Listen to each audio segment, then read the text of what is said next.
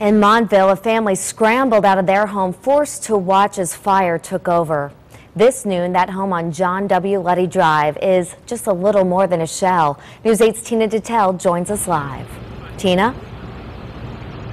Now, fortunately, this family of five was able to make it out of the house safely during the escape. They say they did hear the smoke alarms going off and the dogs were barking. But that's not what woke them up. Their 15-year-old daughter did. A scream from a teenage girl alerts her family as fire engulfs their Oakdale home.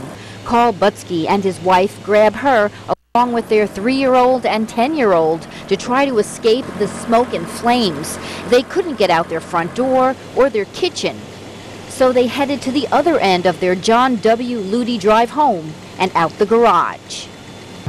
Managed to get out of the garage as soon as we opened the door. It seemed like the ceilings were falling down behind us. Then just ran out into the cul-de-sac, screaming. My wife was screaming. That's where neighbors came to their rescue, providing them with clothes and comfort as firefighters quickly arrived. Immediately, they faced a couple of daunting challenges. Appears to be ammunition that was going off in the house, so we had to, to protect our firefighters, had to back them out and away from the house area. Water also ran low after the initial attack. There are no working fire hydrants in the area, so a mutual aid call went out for tanker trucks. You know, we had to get the water teams established. Uh, we had tankers coming as far away as Colchester to set up. The water was then focused on neighboring homes to stop the fire from spreading. The Butskys' home was destroyed. The owner says it appears the fire started on the porch, and even though he's not sure how that could have happened, he does not believe it was set.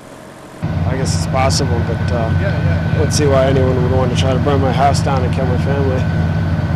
So I don't, I don't suspect arson. We are back now live. As you can see, the state fire marshal is here assisting the Montville fire marshal, who is the local fire marshal here in town. Of course, the cause of this fire is still under investigation. The owner of the home says, though, he believes this is simply an unfortunate occurrence. We're live in the Oakdale section of Montville. Tina Detelj, News 8.